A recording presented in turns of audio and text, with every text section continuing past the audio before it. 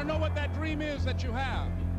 I don't care how disappointing it might have been as you've been working toward that dream.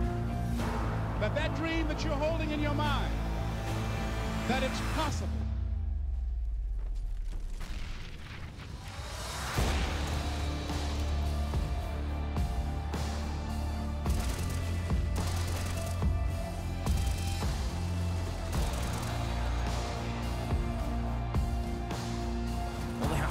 To now is just hold the angles, but Angel with the one tap onto Spiley, who's going to be looking at Kuz. Oh my oh. goodness, that shot onto Punches, absolutely disgusting.